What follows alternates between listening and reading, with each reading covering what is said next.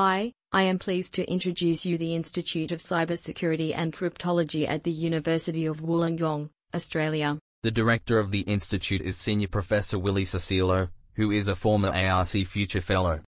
The members of the institute include Professor Jennifer Seberry, who is an IACR Fellow, together with five associate professors, four senior lecturers, eight lecturers, one senior research fellow and three research fellows, as well as over 30 PhD students. There are three research pillars within the Institute. Cryptology, Applied Cryptology, and Cybersecurity. In the first pillar, we study the fundamental issues of cryptology, such as tight reductions, short signatures, and so on.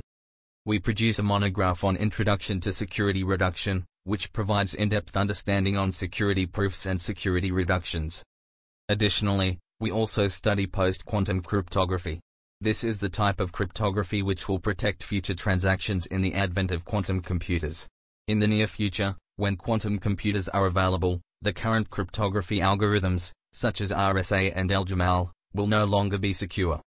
Our work on post-quantum cryptography has been supported by the Australian Department of Prime Minister and Cabinet, Department of Defence, Defence Science and Technology Group, Australian Defence Signals Directorate, Data 61 and the U.S. National Institute of Standards and Technology.